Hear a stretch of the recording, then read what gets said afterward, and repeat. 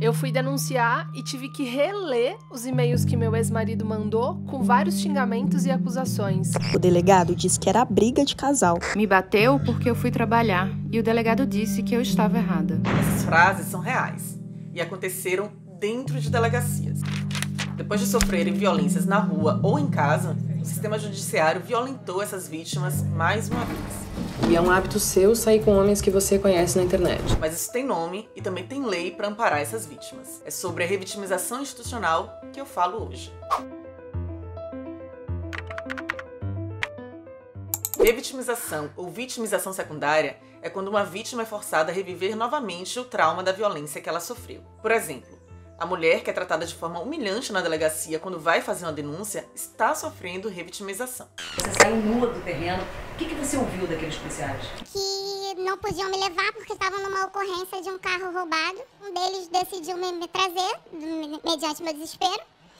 E o outro debochou dizendo que só se, desse, só se tirasse a, a, a farda para para eu não vir nua. A revitimização institucional também acontece quando usa um aspecto pessoal da vida da vítima para justificar o que aconteceu.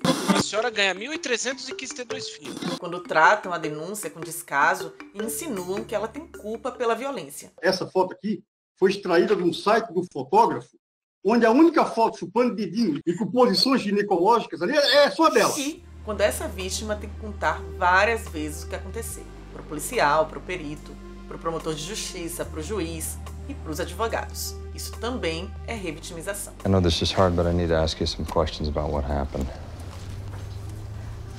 I already told him. Officer Curran. Well, that, that's good. Curran's a good cop, but I'm lead detective on this, so I need to hear what happened directly from you. Imagina ter que ficar contando detalhes o tempo todo de tudo que aconteceu só para atender uma burocracia. É. respeito, doutor. Excelentíssimo. Eu tô implorando por respeito. Foi depois desse caso que a Lei Mariana Ferrer foi aprovada. Ela alterou o Código de Processo Penal para incluir artigos que proíbam comportamentos e uso de materiais que ofendam a dignidade da vítima em audiências de instrução e julgamentos. Demorou, né?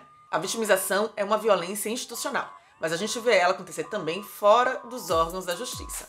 Manchetes que tentam justificar a violência com alguma ação da vítima também causam sofrimento, assim como o compartilhamento de fotos e vídeos do crime e da vítima.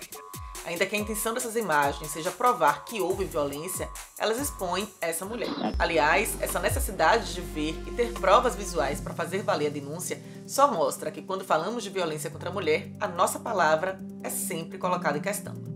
Não à toa que muitas mulheres nem chegam a fazer a denúncia. É o medo da revitimização. As mulheres devem ter direito à justiça, mas também precisam ter a chance de deixarem a violência sofrida no passado e seguirem suas vidas sem serem lembradas para sempre como vítimas. Se esse vídeo foi importante para você, deixe o seu joinha e compartilhe com mais gente. Dar nome para as violências que sofremos é importante para que a gente possa lutar contra elas.